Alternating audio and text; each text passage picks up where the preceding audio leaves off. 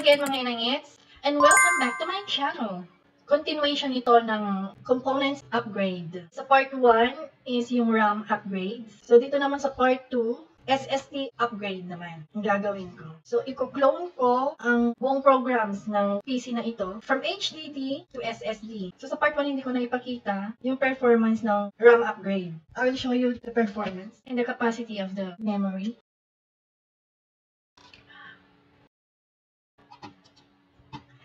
Ayan. So, nadagdagan siya. 8 GB na siya. Before is 4 GB. Slots used, 2 of 2. Before, 1 of 2. Available is 4.3 GB. This part 2, i-upgrade ko yung storage naman. Ang nakasalpak dito is HDD, hard disk drive. So, i-upgrade ko siya sa SSD, which is solid state drive. So, unahin ko muna yung software ng cloning. Ang gagamitin kong pang-clone programs is as Todo Backup Home 13.5 version. So, nata-download po yan. Open nyo lang yung Google nyo and then search is as. Okay, ito. Click nyo. Hanapin nyo yung backup and restore. Ito yung sinelect ko, yung home. So, click nyo yan. Okay, ayan. Merong buy now, merong free trial. So, ang sinelect ko is free trial. Yan. Click nyo lang yung download. Kasi sa akin meron nang naka-download eh.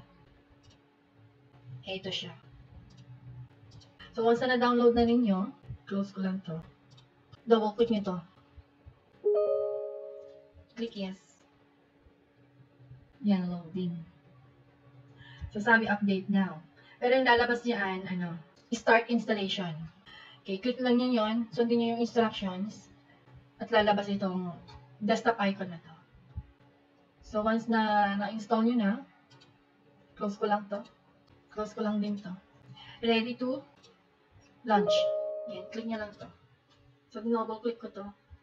Desktop icon ng ISAS. Ayan na siya. Kung, kung meron naman kayong pambili, edi, why not? Bumili kayo ng ano, ng subscription nito. Sa SSD naman. Open ko lang. So, dito hindi makikita yung SSD na storage. C drive and D drive lang. Dahil nandoon siya sa disk management. Right-click lang sa disk PC, click manage. Under the storage, click the disk management. Ayan siya. Dahil nga unallocated, kaya hindi siya nag-appear dito sa folders or dun sa File Explorer. Bago i-clone ng OS or operating system or nag-whole program ng PC, check muna yung source. Ito yung source sa disk 0. Right-click dito, Properties, then Volumes, check kung ano yung partition style niya. So, GUID par partition table, GPT kung tawagin. Dapat, ganun din sa target storage or dito sa disk 1. Yan, quick properties, volume, yan. Sinet ko na siya as GPT. Kung partition style niya is MBR, dapat yung target ninyo is MBR din. I-right-click nyo lang yon and then convert to MBR disk. Pero kung brand nyo yung ano, SSD ninyo, may magpa-pop up dyan na selection or option kung MBR ba or GPT. Check ko muna yung specs. Ito yung specs niya. OS, Windows 10 Home Single yan. CPU, Pentium N3700. Ang RAM, dahil nga na-upgrade ko na yung RAM, so 8GB na. Ang motherboard, Acer. Graphics, all-in-one LCD. Intel HD graphics. Storage, Western Digital yung kanyang storage. Ito yung source. Ito yung target kung saan i-clone yung programs nito. Ito yung source, ito yung target. So, naka-indicate na SSD. Ito, HDD. Optical drives, hindi ko yata, natanggal yata yung wires, kaya not detected siya. Okay, so mag-start na ako. Select the clone. Select the box and check to select all the programs. Here, ito yung source. Then, click next. And then, select the target. Click next. So, kung sure na, click proceed. Clone will permanently wipe out all data on the target disk. The following partition will be deleted when starting clone. You want to delete the partitions and start clone? Click continue to proceed. Okay, ayan. So, stop ko muna yung recording. I will continue pagka natapos na yung cloning. Ito na, tapos na ang cloning. Mag 100% na. So, click ko na yung finish. Okay, para ma-check kung na-clone ba siya. Check natin. Ayun. A, B.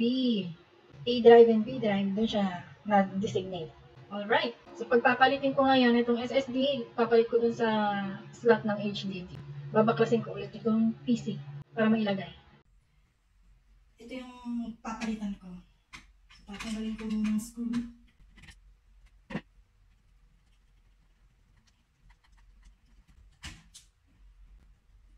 Ito yung HDD. Ito yung SSD.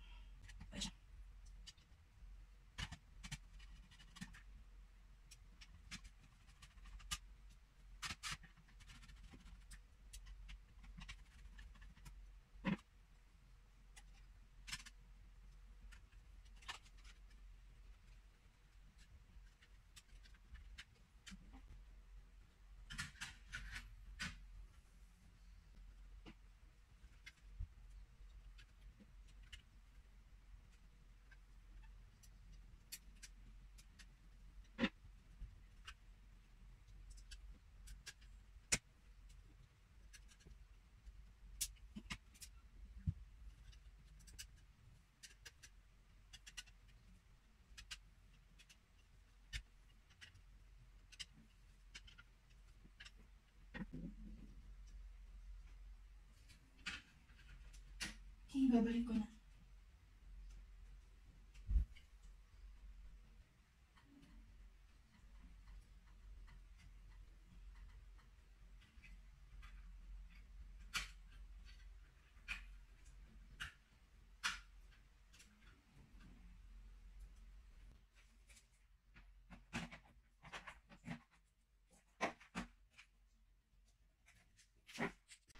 Okay, testing na. Switch on.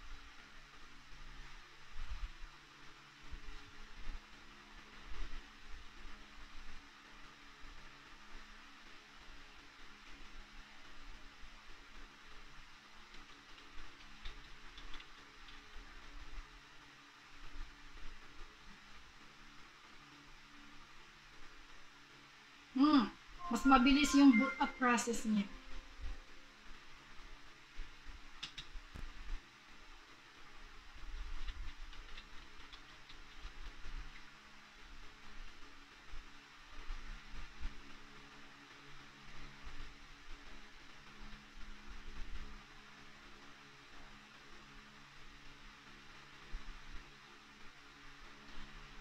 Okay, so mas mabilis na siya ng konti kumpara dun sa dating HDD na storage.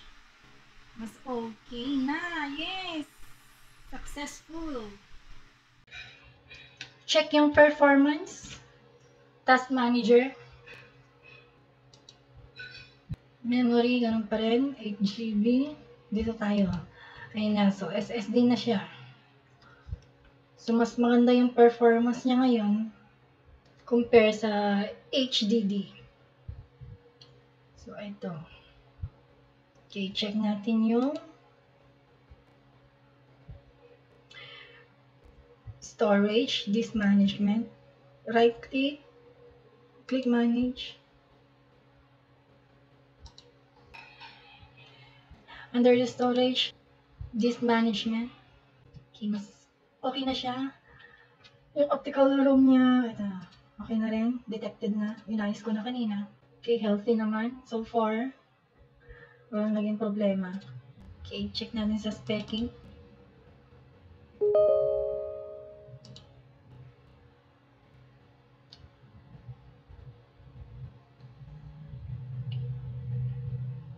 Storage. Ayan na siya. Ayan. Perfect.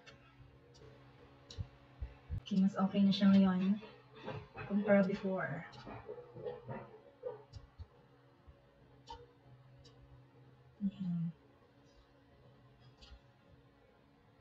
So, nag-improve yung performance niya. Dati, is rough yung kanyang ah, launching ng mga applications. Ngayon, nag-smooth naman kahit papano. So dahil nga mababa yung specs nito, tsaka yung CPU niya, yung processor, hindi ganun kataas, hindi ganun ka-high-end. Ito kasi ano eh, Pentium lang yung kanyang CPU. That's it mga inangits. Okay, hanggang dito na lang. Paalam. At kita-kits sa susunod na videos.